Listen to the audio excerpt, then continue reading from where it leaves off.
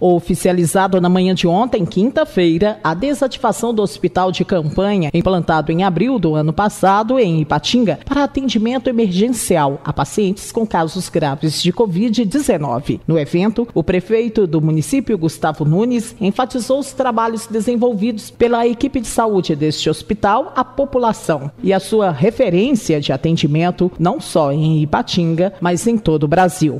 Exatamente. O hospital de campanha ele foi inaugurado no dia 8 de abril e de lá para cá foram mais de 2 mil atendimentos aqui no hospital de campanha. E quando nós inauguramos, nós tínhamos na cidade de Patinga mais de 5 mil casos ativos de Covid-19. Nós chegamos. Eu sei também que não foi fácil.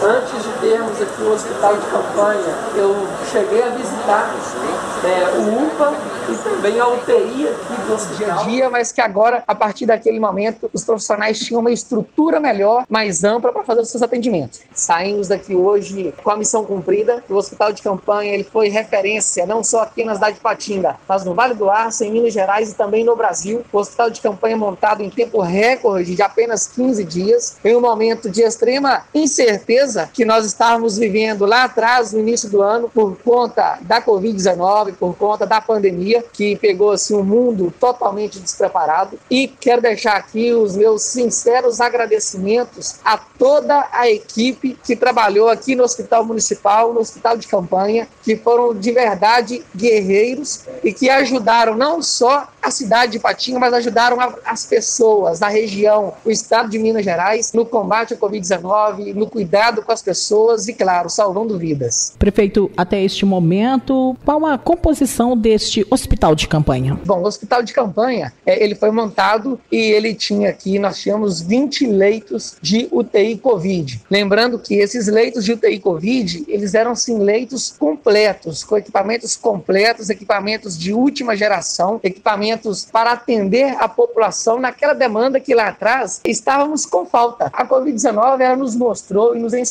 que os números eles devem ser analisados dia após dia. Então, se caso a gente perceber que está havendo uma diferença negativa, vamos dizer assim, em relação aos números, não tem importância. Nós podemos nos mobilizar de novo. Converso também com Kênia Rodrigues, diretora do Hospital Municipal Eliane Martins e responsável pelo Hospital de Campanha. Kênia, os números comprovam e com eles veio a desmobilização deste hospital. O que tudo isso representa? É uma vitória, uma alegria conseguir fechar com esses números tão baixos assim, né? Efetividade das vacinas e o empenho também de toda a equipe é muito gratificante. E agora, como ficarão as situações dos profissionais com a desativação deste hospital de campanha? Os profissionais que são, é, são subdivididos né, nos outros locais de trabalho, são realocados e como foi encerrado o hospital de campanha, foi encerrado também alguns contratos por demanda, né? Então a gente mantém o hospital com quantitativo de funcionários sobre cada demanda mesmo de cada setor.